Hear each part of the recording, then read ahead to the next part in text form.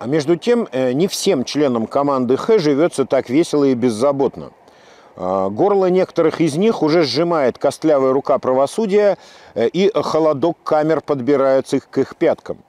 На минувшей неделе э, прогремела на всю республику новость о том, что экс-министр Хабировского Минстроя Рамзиль Кучербаев не только лишился шанса отвертеться от шестилетнего срока э, в тюрьме, но еще и получил увеличение срока наказания до 9 лет. 9 лет э, колонии общего режима определил ему э, суд, рассмотрев еще 50 эпизодов э, криминальной деятельности главного строителя Республики Башкортостан.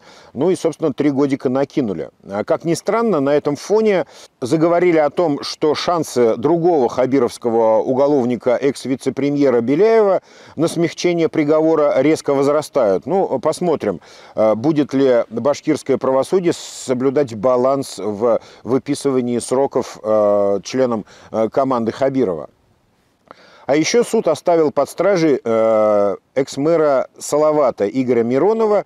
Его обвиняют, напомню, в злоупотреблениях при оформлении так называемой Сидякинской концессии на электросистему города. Суд оставил Миронова под стражей до 9 августа текущего года продолжает сидеть в СИЗО э, мэр Межгорья, э, ну и еще десяток членов группировки Хабирова помельче, всевозможные председатели сельсоветов и так далее.